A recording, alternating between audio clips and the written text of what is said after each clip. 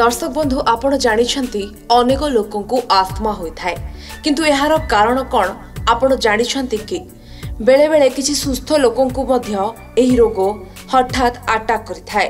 ପୁଣି ଆଉ କିଛି ଲୋକଙ୍କଠାରେ ଜନ୍ମରୁ ଏହି ରୋଗ ଥାଏ। ଏହି ରୋଗ ପାଇଁ ଅନେକ ଅସୁବିଧାର ସାମ୍ନା କରିଥାନ୍ତି କିଛି ଲୋକ। ଆଜି ଆମେ ଆପଣଙ୍କୁ ଏହି ମାରାତ୍ମକ ରୋଗ ବିଷୟରେ କହିବାକୁ ଯାଉଛୁ। ଆସ୍ମାରେ ଏମିତି ସ୍ଥିତି ଉପୁଜିଥାଏ ଯେ ନିଶ୍ୱାସ ନେବାରେ ଅସୁବିଧା କରାଇଥାଏ।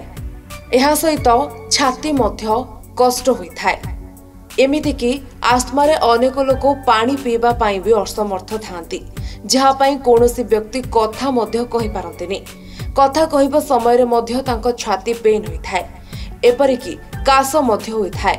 ଯେଉଁ ବ୍ୟକ୍ତିଙ୍କ ଆସ୍ମା ରୋଗ ଥାଏ ତାଙ୍କ ପାଇଁ ଧୂଳି କିମ୍ବା କୌଣସି ପଶୁର ରୁମ କ୍ଷତିକାରକ ହୋଇଥାଏ। ତାଙ୍କୁ ଯଦି ଅଧିକ ମଇଳା ସ୍ଥାନ କିମ୍ବା ଧୂଳି ଜାଗାକୁ ନିଆଯାଏ କିମ୍ବା ସେମାନେ କୌଣସି ପଶୁମାନଙ୍କର ସଂସ୍ପର୍ଶରେ ଆସନ୍ତି ତାଙ୍କ ରୋଗ ଅଧିକ ବଢ଼ିପାରେ ଏବଂ ଅଧିକ ସଂକ୍ରମଣ ହେବାରେ ଆଶଙ୍କା ରହିଥାଏ। ଏହାକୁ ବଂଶଗତ ରୋଗ ମଧ୍ୟ କୁହାଯାଏ ପୁଣି କିଛି ସମୟରେ ସମୟ ସମୟ ସହିତ ପରିବେଶ ପାଇଁ ମଧ୍ୟ।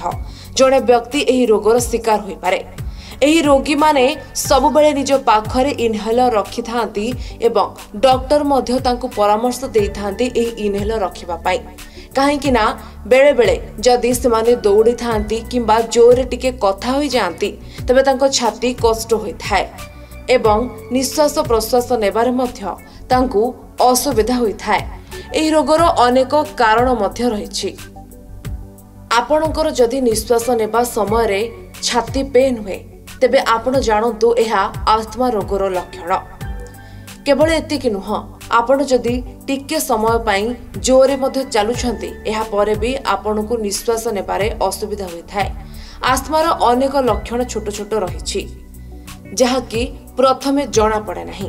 ତେବେ ଏହାର ସବୁଠାରୁ ବଡ଼ କାରଣ ହେଉଛି ଯଦି ଆପଣ ପଲ୍ୟୁଟେଡ୍ ଏୟାର ବା ଦୂଷିତ ବାୟୁରେ ରହିବେ।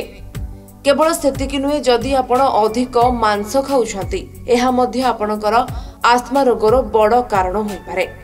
ଯଦି ଆପଣଙ୍କୁ ସବୁବେଳେ ସାଧାରଣ ଥଣ୍ଡା ଲାଗି ରହୁଛି ଏହା ମଧ୍ୟ ଆସ୍ମା ପାଇଁ ହିଁ ହେଉଛି ଏବଂ ଆପଣଙ୍କ ଫିଜିକାଲ ଆକ୍ଟିଭିଟି ମଧ୍ୟ କମିବାରେ ଲାଗେ। ଏୟାର ପଲ୍ୟୁସନ ମଧ୍ୟ ଆସ୍ମା ରୋଗର ଏକ ମୁଖ୍ୟ କାରଣ। ସେଥିପାଇଁ ଆପଣଙ୍କୁ ସବୁବେଳେ ଏହି ରୋଗ ପାଇଁ ଡକ୍ଟରଙ୍କ ଠାରୁ ପରାମର୍ଶ ନେଇ ଏହାର ଚିକିତ୍ସା କରିବା ଦରକାର। କିଛି ଡକ୍ଟର କୁହନ୍ତି ଯେ ଏହି ରୋଗକୁ ଭଲ କରି ହେବ ନାହିଁ। ଏହି ରୋଗ ପାଇଁ ଆପଣ ମେଡିସିନ ଖାଇବେ ଏବଂ ଇନହେଲର ନେବେ। କିନ୍ତୁ ଦୂଷିତ ଜଳବାୟୁରେ ରହିଲେ ଏହା ଅଧିକ ମାରାତ୍ମକ ହୋଇଥାଏ। ଏଥିପାଇଁ ଆପଣ ଯୋଗ ମଧ୍ୟ କରିପାରିବେ ଏବଂ ଭଲ ପରିବେଶରେ ମଧ୍ୟ ରହିବା ଦରକାର। ଏହା ସହିତ ଡାକ୍ତରଙ୍କଠୁ ପରାମର୍ଶ ନେଇ ଏହାର ଟ୍ରିଟମେଣ୍ଟ ମଧ୍ୟ କରିବା ଆବଶ୍ୟକ। Bureau report K news Odisha.